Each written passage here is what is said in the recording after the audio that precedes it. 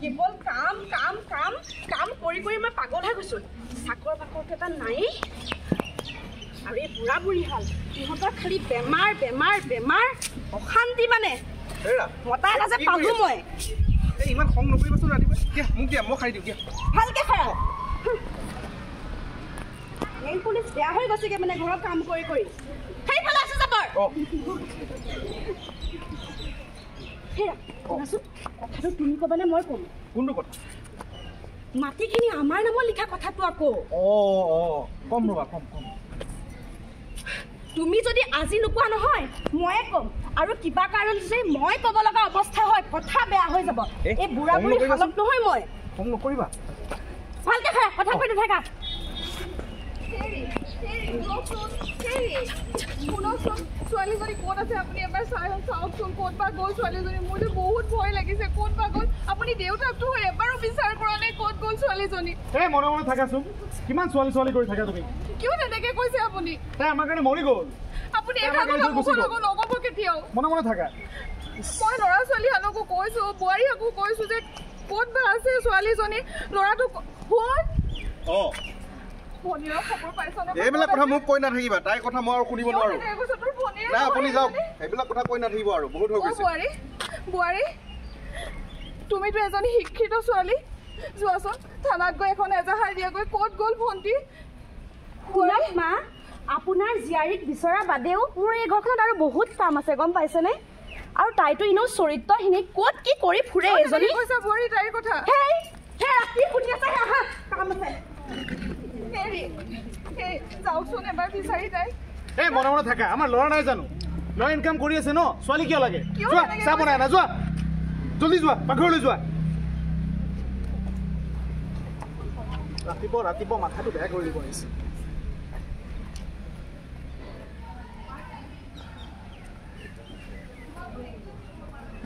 কি হ'ল? ইমান দেৰি হ'ল যে চাহ হোৱা নাই? জলদি আনা। ইমান দেৰি কৰে চাহ খালি খালি খাম। কি আছে লগত? আপুনি কাটা বিস্কুট ভাল পায় বুলি মই শুনক কৈছিলোঁ কালি কাটা বিস্কুট আনিবলৈ। কি হ'ল জানো সি পাহৰিলে চাগে। আৰু পিঠা চিঠা একো নাই। খালি খালি খাম নে মই? মোৰ মনেই নাযায় আজিকালি পিঠা চিঠা বনাবলৈ। আৰু বোৱাৰীয়েতো আপোনাৰ বোৱাৰীয়ে একো নাজানে পিঠা চিঠা বনাব। এনেকুৱাতে মোৰ ছোৱালীজনীলৈ বৰকৈ মনত পৰে। তাই যে বিহুত মোক কিমান সহায় কৰি দিছিলে। এতিয়া বা ক'ত আছে কি বা কৰিছে কেনেকৈ বা আছে হেৰি নহ'লে যাওকচোন যাওক বিচাৰি যাওক এবাৰ ক'ত বা আছে তাই কেনেকৈ বা আছে? ইচি ছোৱালী ছোৱালী ছোৱালী চব সময়তে ছোৱালী কিয় ইমান ছোৱালী? কিয় তাই বাৰু আপোনাৰ ছোৱালী নহয় নেকি? নালাগে তাই কৈছে। তাই আমাক এৰি থৈ গ'ল ন? যোৱা এইটো যোৱা। যোৱা পাকঘৰলৈ যোৱা। মাইকী মানুহ পাকঘৰত থাকিব লাগে। যোৱা তোমাৰ স্থান তাতে যোৱা তাতে যোৱা যোৱা। দেউতা দেউতা এই আপোনাৰ কি হ'ল? এটা লাগিছিলে। কি কাম আছে তোৰ?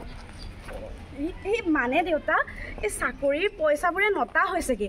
এখেতে মানে বিজনেছ কৰে। তাৰ কাৰণে আপোনাৰ চাইনটো হ'লে ভাল হয় আৰু। অঁ চহী এটা লাগিছিলে আপুনি এবাৰ চাই লওক নেকি কিহৰ কাগজ। এই মনে মনে থাকাচোন মাইকী মানুহ। মনে মনে থাকা মোৰ ল'ৰাটোৱে যে কৈছে মই বিশ্বাস নকৰিম নেকি? কিয় তোমাৰ উপদেশ মানিব লাগিব মোৰ। কিয় কৈছে বাৰু চাই লওকচোন এবাৰ। আৰে মা এয়া ইংৰাজীত আছে। আপোনালোকেনো ক'ত ইংৰাজী বুজি পাব? হয়নে? হ'লনে? চা অঁ হ'ল দিয়ক। ধন্যবাদ দেউতা। যা। যোৱা পাকঘৰলৈ যোৱা যোৱা। যোৱা পাকঘৰলৈ। সদায় মোৰে ভুল হয় চবতে আপোনালোকক ভাত দিছো আহিব। শুন বোৱাৰী ভাত খাবলৈ আহিব। ব'ল ভাত খাই লওঁ ব'ল। হৈ গ'ল। ফাইনেলি মোৰ সপোন পূৰা হৈ গ'ল। এতিয়া এই গোটেই ঘৰ সম্পত্তি মাটি বাৰী কেৱল আমাৰ। এই বুঢ়া বুঢ়ীহাল ইহঁতে এতিয়া মোৰ আচল ৰূপ দেখা পাব। হেৰা শুনাচোন। হেৰা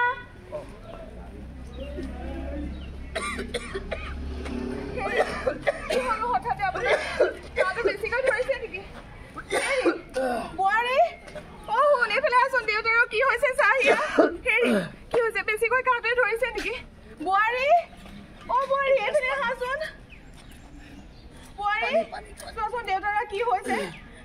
তোমাক যে কালি কৈছিলো শুনক ক'বলৈ কাঁহৰ দৰৱটোৰ কথা আনিবলৈ আনিলে নাই বাৰু? মা আপোনাৰ সোণৰ ঔষধ অনা বজাৰ কৰা এইবিলাকৰ বাদেও আৰু বহুত কাম আছে গম পাইছেনে? কিয় কৈছা তেনেকে? যোৱাচোন যোৱা পানী গিলাচকে আনাগেচোন যোৱা দেউতাৰ কাৰণে। এতিয়া মই বুঢ়াটোৰ কাৰণে পানী আনিম? অ' গড বোৱাৰী কিয় তেনেকে কৈছা? ঠিক আছে তুমি পানী আনা যদি দেউতাৰ পিঠিখনকে মোহাৰি দিয়া মই আনোগৈ। ছি এতিয়া মই বুঢ়াটোৰ পিঠিও পালিচ কৰিব লাগিব। মোৰ ঘিণ লাগে দেই। বোৱাৰী তুমি কিয় এনেকুৱা কৰিছা তোমাৰ কি অধিকাৰ আছে? ঘৰখনৰ মুৰব্বী এজনৰ কথা তেনেকে ক'বলৈ? বোৱাৰী? মুৰব্বী? এই বুঢ়াটো। হহুৱালে দেই। অলপ আগত যে কাগজ এখনত চাইন কৰিছিলে কিহৰ কাগজ গম পায়নে নাপায়? এতিয়া এই গোটেই ঘৰ সম্পত্তি মাটি বাৰী কেৱল আমাৰ। আপোনালোকৰ ইয়াত অকণো অধিকাৰ নাই। মই আপোনাক কৈছিলো নাই।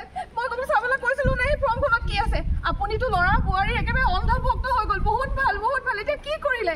এইখন ঘৰ আপুনি কিমান কষ্টৰে তুলিছিলে এই ঘৰখন বৰবাদ কৰি দিলে দে এতিয়া আজি হা আপুনি বহুত বিশ্বাস কৰিছিল আপোনাৰ কাৰণে ল'ৰাই সকলো বোৱাৰীয়ে সকলো কিন্তু কিন্তু মোৰ কথাটো এবাৰো নুশুনে মই অশিক্ষিত হ'ব পাৰোঁ কিন্তু মোৰ কথা আপুনি এবাৰো নুশুনিলে এ মনে মনে থাকক হে সদায় একে সোপা কথাকে শুনি শুনি অশান্তি লাগিছে আৰু বোৱাৰী কিয় কৰিলা এনেকুৱা চোৱাচোন আমাৰ লগত কিয় কৰিলা তোমালোকে এনেকুৱা হেৰা, তোমাক মায়ে কিবা বুজাই দিয়া দে, মই নোৱাৰো থাকিব এইখন ঘৰত। কি হুলস্থুল মই হৈ আছে থাকিম, এইবিলাক? নহ'লে তোমাৰ মা দেউতা থাকিব আজি। কি কৰিলে বোৱাৰী কথা তই শুনি এনেকুৱা কাম এটা কিয় কৰিলি কচোন এইবিলাক কথা মোক আৰু শুনাই নাথাকিবা। আপোনালোকে আমাৰ ভালটো বিচাৰিছে যদি ওলাই যাওক আমাৰ ঘৰৰ পৰা। যাওক। মই আৰু এইবিলাক একো কথা শুনিব নোৱাৰো। আপোনালোক গুচি যাওক। যাওক। যাওক। মই শুনিব নোৱাৰো। আপোনালোকৰ বেগ আৰু ওলাই যাওক।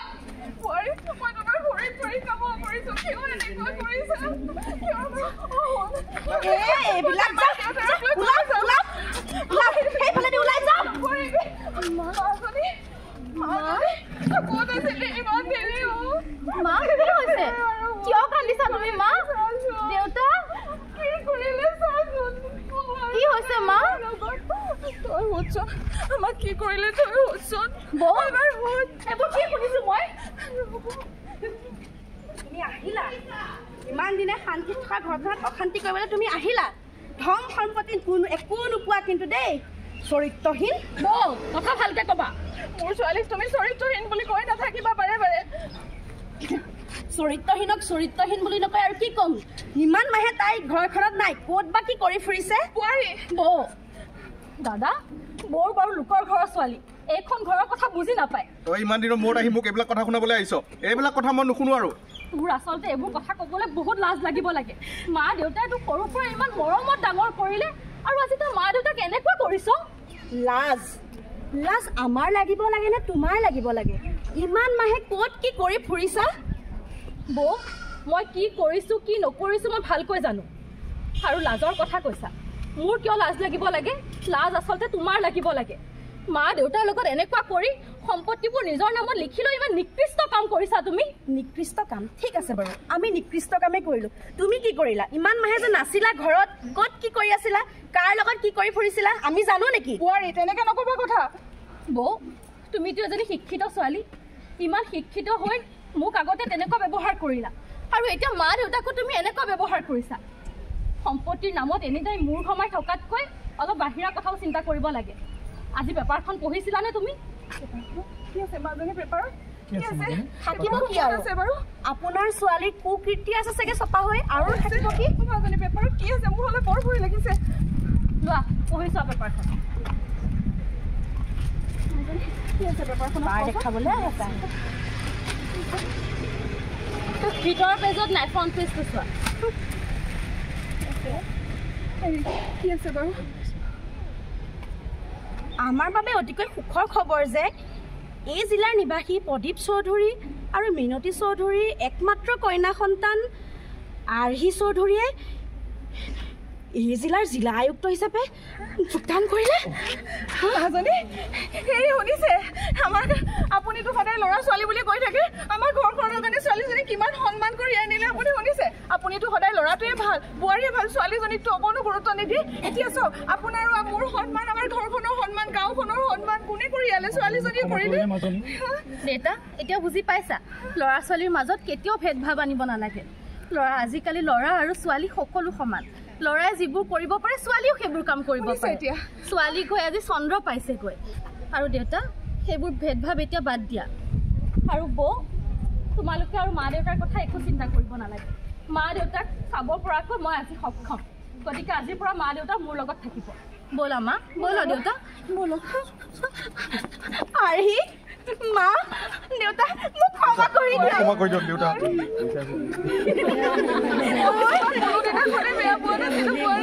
মই বহুত ডাঙৰ ভুল কৰিলোঁ। কোনোবাখিনিত ময়ো অৱহেলিত হৈছিলোঁ। মোৰ দেউতা ইমান ডাঙৰ ব্যৱসায় হোৱাৰ পিছতো পঢ়া শুনা কৰিলে ঠিকেই চাকৰি কৰিব নিদিলে। মোৰ চাকৰি কৰাৰ বহুত ইচ্ছা আছিল। মোক বিয়া দি দিলে। সেইবাবে হয়তো আৰ্হিৰ উন্নতিত মই জ্বলিবলৈ আৰম্ভ কৰিছিলোঁ। আৰু সেইবাবে মই এনেকুৱা কৰিলোঁ। মা মোক ক্ষমা কৰি দিয়ক। মই কেতিয়াও তোমাক বেয়াই পোৱা নাছিলোঁ অ' বোৱাৰী। তুমি মোৰ নিজৰ ছোৱালীৰ দৰে। তোমাক মই কেতিয়াও বেয়া নাপাওঁ। আৰ্হি তুমি মোক ক্ষমা কৰিব পাৰিবানে বাৰু? মই ক্ষমা কৰাৰ কোনো কথাই নাহে বৌ। তুমিতো এতিয়াও মন গ'লে চাকৰি কৰিব পাৰা। এতিয়াও ভালকৈ আকৌ পঢ়িব পাৰিবা। নহয়নে মা? হয় আকৌ। তুমি মোক সহায় কৰিবা। কিয় অকল মই নহয় আমাৰ সকলোৱে তোমাক সহায় কৰিব।